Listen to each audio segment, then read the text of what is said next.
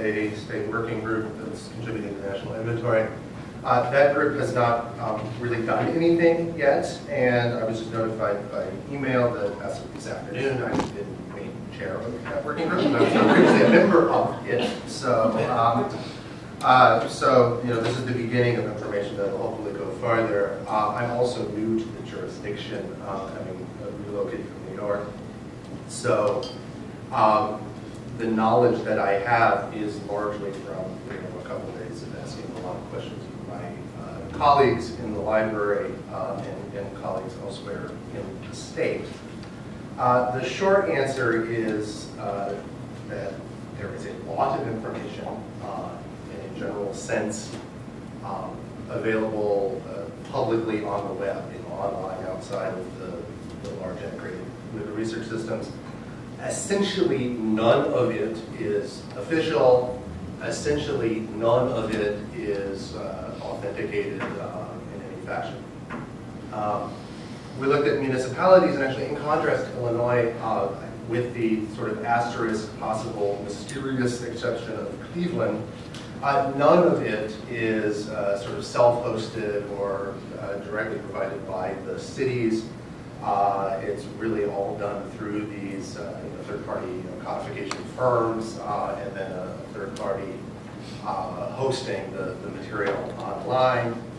These are rife with copyright assertions either in the city or in the um, you know the firm that provides the codification and, and publishing services um, in a mix of that. Um, and by these aren't these aren't large or these striking us especially sophisticated outfits. So a lot of um, uh, you know HTML products that are you know served up in these kind of frame-based uh, table layout pages.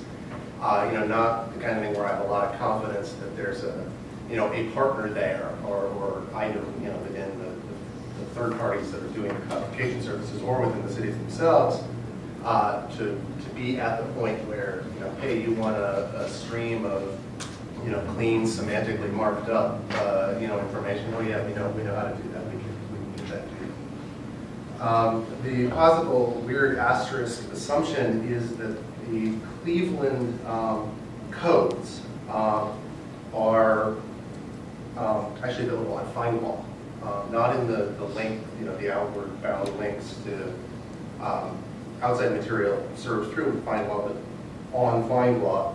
Um, the city clerk of council, um, clerk of the city council couldn't tell me um, why they were there, how they got there. Um, referred me to the, the city attorneys, uh, who I'll speak to uh, soon. Um, on the other hand, the um, the publication that is essentially the, the, the local laws publication for Cleveland City Record uh, was the one example of municipal level legal authority in Ohio that I did find actually hosted by the, the municipality itself on the, on the city website. Um, you know, as a, a periodic PDF, uh, although retained uh, for a significant period back in time. the um, state um, statutory and administrative codes are both available um, freely on the web um, through uh, LawWriter, which is the, the technical partner, partner for CaseMaker, uh, is the firm that, that, makes CaseMaker uh, run. Uh, my understanding is that there is an exclusive arrangement so that LawWriter is the uh, exclusive online, you know, public internet um, source for, uh, again, both the statutory and administrative uh, code material for the state of Ohio. Uh, it's there. Uh, it's there. It's again, it's uh, it's HTML. It's avidly disclaims its official status. the official publication is, is, a West publication, um, but it's there to be seen. The state administrative register is online, again, back file PDF dump. Uh, this is a publication that's only existed from 2000. It's online from 2003.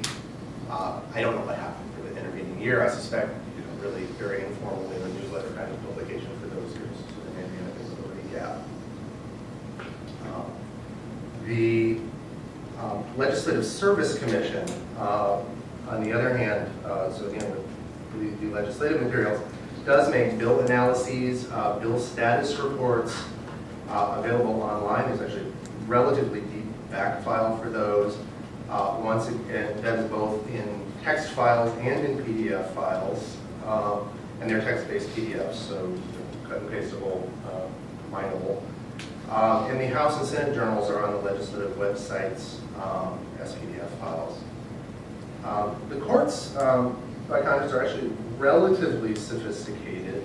Uh, Slip opinions are available uh, as PDF files uh, from 1992. Um, And they are also available from the 90s forward uh, with a, uh, what they call, referred to as a WebCite. Uh, And this is a, a- platform-neutral, uh, unique identifier for the case. Uh, But again, those are the slip opinions. Uh, Once again, the Ohio official reports uh, is a, a, uh, uh, a West publication.